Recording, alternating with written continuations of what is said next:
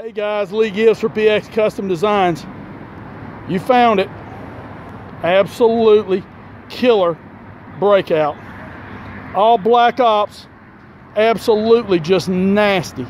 From the full blacked out front end to the gaiters to the carbon fiber look, custom headlights, custom marker lights, the upgraded all blacked out handlebars. Check out that tank though the homage to Harley with the Willie G Skull number one, taking you back to the 70s and moving you forward into the 2000s. All blacked out motor case, Roland Sands breather, and then that nasty MF exhaust. That's right, Magnaflow's making bike exhaust. You've seen it on cars and trucks. Now that's for the bikes. But look at this seat.